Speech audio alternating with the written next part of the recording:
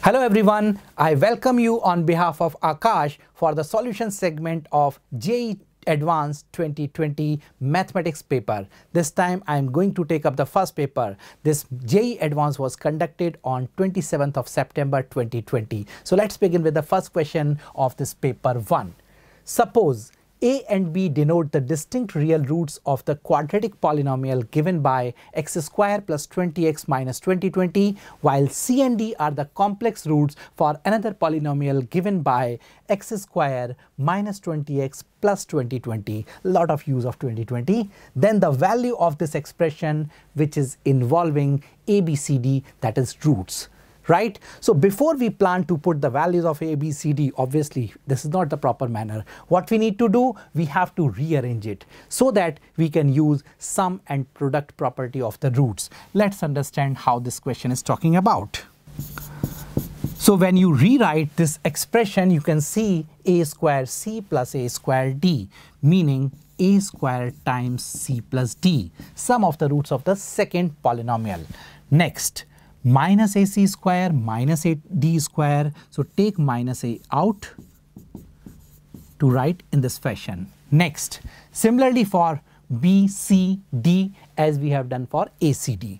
So this is plus b square into c plus d minus b times c square plus d square. Now moving forward, this is equal to c plus d you can directly put from here c plus d is 20 correct? So let's write down 20 a square minus a. You can take a and b together so a plus b times c square plus d square. This is clear? What we are left with? This term plus 20 b square. Now rearranging, in fact, we can see that a square plus b square can be written as sum and product of a and b. So this is 20 times a plus b whole square minus 2ab. Next, you have a plus b, the value of a plus b is with you. What is that? Minus 20. So substituting here minus 20, it becomes plus 20 times c square plus d square. What is c square plus d square? Again in the similar fashion as done earlier, this is c plus d whole square minus 2 times cd. I am sure this is clear. Just put the values back. This is 20 times a plus b whole square meaning 400 because a plus b whole square is there minus 2AB. Now what is product AB? Let's check out the product AB. It is minus 2020. Twice of it, so it becomes plus 4040 plus 20 times. Similarly here 400 minus 4040. You can clearly see what is going to happen now. This 4040 into 20 is cancelled. Correct? What we are left with? 16,000. Now time to check from the given options 16,000.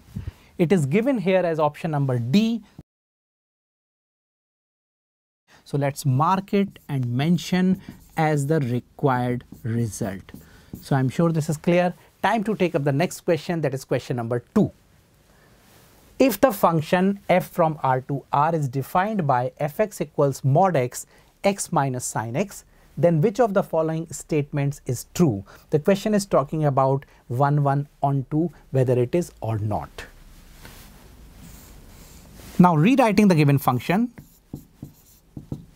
fx is equal to, we can break it around 0 minus x into x minus sine x. When x is less than 0, x into x minus sine x when x is greater than equal to 0. Right?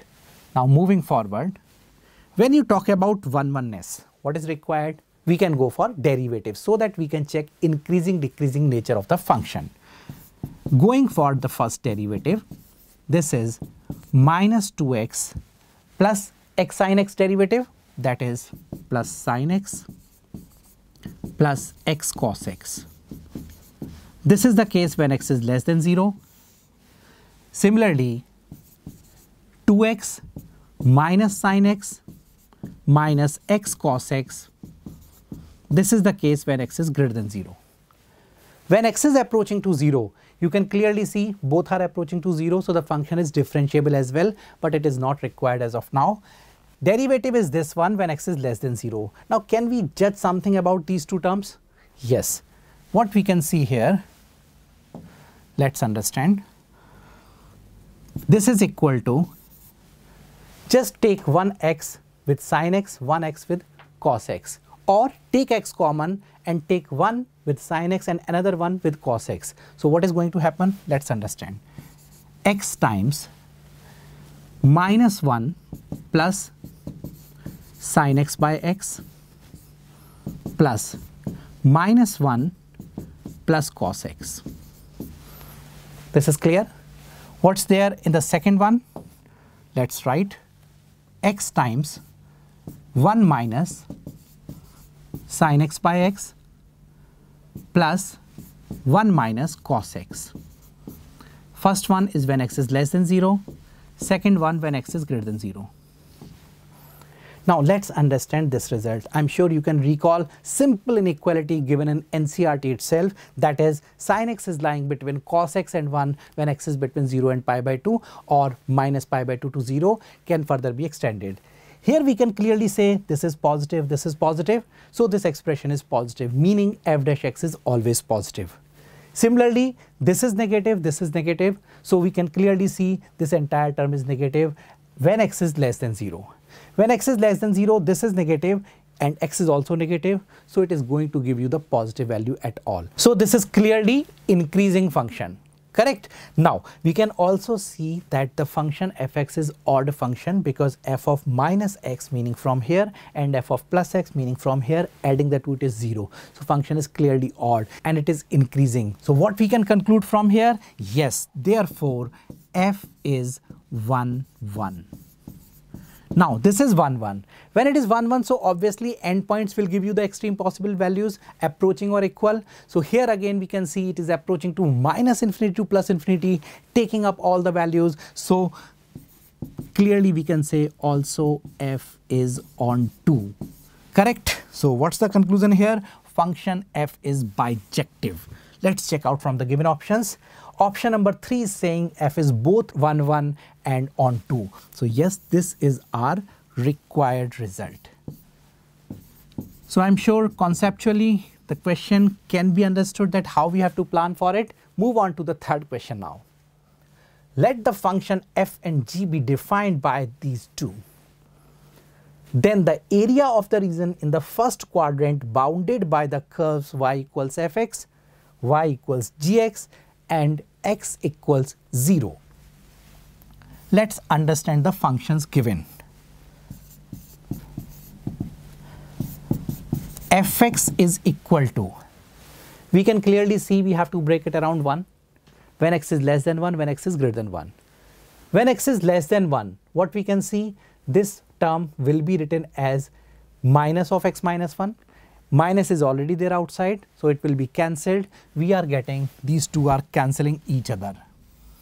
So this is equal to 0 when x is less than 1. Now when x is greater than 1, what is going to happen? Simply we need to write e to the power x minus 1 minus e to the power minus of x minus 1 when x is greater than or maybe equal to you can put on. So this is the breakup for function fx.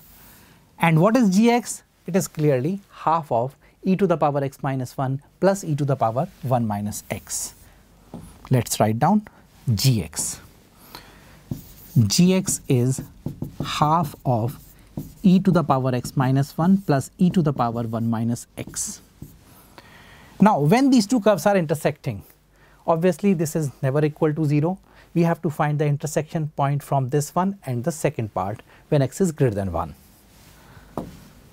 Solving, we can see half e to the power x minus 1 plus e to the power 1 minus x is equal to e to the power x minus 1 minus of e to the power 1 minus x we can write it. This 2 can be cross multiplied. What we are getting? When 2 is multiplied, this can be taken to the left hand side. 3 times e to the power 1 minus x is equal to e to the power x minus 1 or e to the power 2 times x minus 1 is equal to 3. Take log, this gives you twice of x minus 1 is log 3 or x is equal to half log 3 plus 1. This is the intersection point.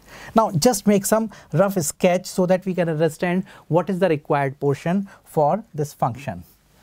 So when we try to trace rough sketch, say x's and then the curve like somewhere this one and for other one like this one. So clearly we can see two curves are intersecting at some point which is half log 3 plus 1 and my curve is intersecting with x-axis at x equals 1. Which curve is intersecting at x equals 1? The previous one fx. So I'm sure this is clear that how we are going to solve this one. Let's write down. Therefore, required area is equal to this is my function g this is my function f. Integral 0 to half log 3 plus 1 for function gx minus integral 1 to half log 3 plus 1 fx. Correct? For my function, this part. So that we can get finally this portion. I'm sure this is clear. Simple integration is required. Function g is known to us as this one, function f after 1 meaning as we have broken into two parts, this is the portion for f integrate simple exponential functions are there on integrating. So when you simplify, you simply observe that the answer is coming as option number A because simple integration is there for the exponential function and apply the limit. Some calculation part is required obviously and that is all what you need to do here. I'm sure this is also clear. Time to move on to the next question that is question number 4.